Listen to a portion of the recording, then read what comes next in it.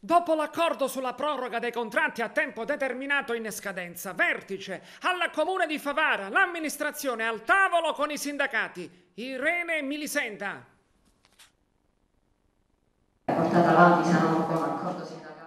Al comune di Favara, dopo l'annunciata sospensione dei 270 lavoratori con contratto a tempo determinato, a causa dell'ancora mancata copertura finanziaria da parte della regione, i lavoratori precari mantengono e proseguono lo stato di agitazione, nonostante sia intervenuta una soluzione tampone tramite un'intesa firmata tra l'amministrazione comunale, i sindacati e le RSO. In attesa dei decreti di finanziamento della regione siciliana, i lavoratori continueranno a fornire il loro servizio e contratti precari in scadenza sono stati prorogati di un mese fino alla conclusione di ottobre. Nel frattempo la sindaca Anna Alba, dopo la lettera di allarme ordine pubblico e sociale inviata al prefetto Nicola Diomede e dopo la riunione con i lavoratori, si recherà a Palermo per trovare una soluzione definitiva al problema. Abbiamo coinvolto le parti sindacali, abbiamo paventato la preoccupazione di una ipotetica sospensione che per fortuna abbiamo scongiurato attraverso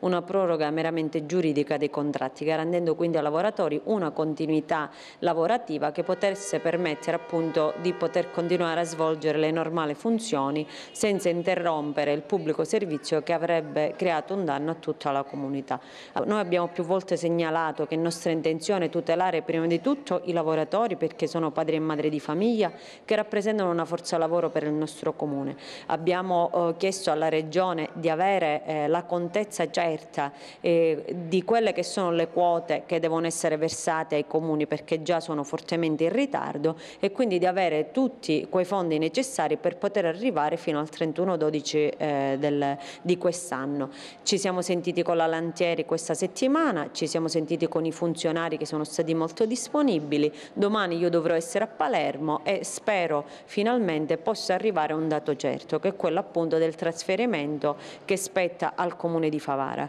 Eh, quindi il, il mio auspicio è che nelle prossime settimane si arrivi quindi ad avere una visione molto più chiara di quello che sarà il futuro eh, che viene riservato ai nostri lavoratori. Nella mattinata di oggi i lavoratori si sono radunati nell'aula consigliare del comune di Favara insieme alle forze sindacali per discutere del problema e soprattutto comprendere fino a che punto si è disposto a tollerare tale stato di disagio. Questa mattina stiamo per eh, procedere con l'assemblea del personale, ci siamo lasciati alla fine della settimana scorsa con la firma dell'accordo che garantiva la, mm, il proseguimento dell'attività dei lavoratori e così è, però stamattina mm, ci siamo riservati appunto di comprendere quali sono le ragioni di tutti i lavoratori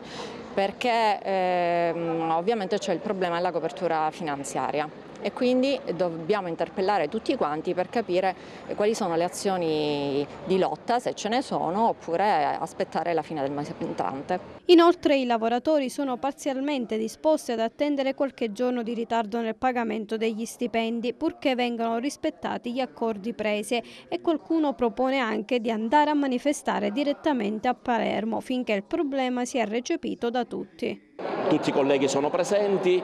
vedremo cosa fare, eh, vedremo quello e le, le, le, le, cose da adottare. Ecco, mm, con molta, con molta, serenità e molta tranquillità,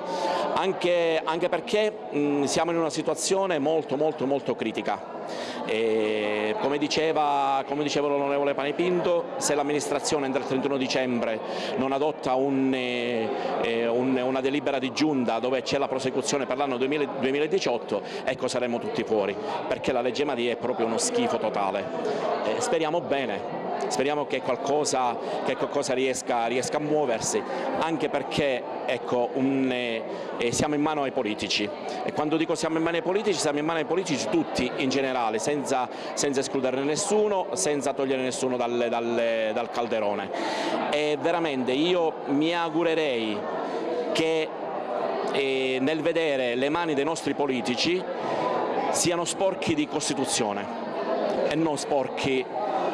mancata, del mancato licenziamento eh, dei 270 precari del Comune di Favara.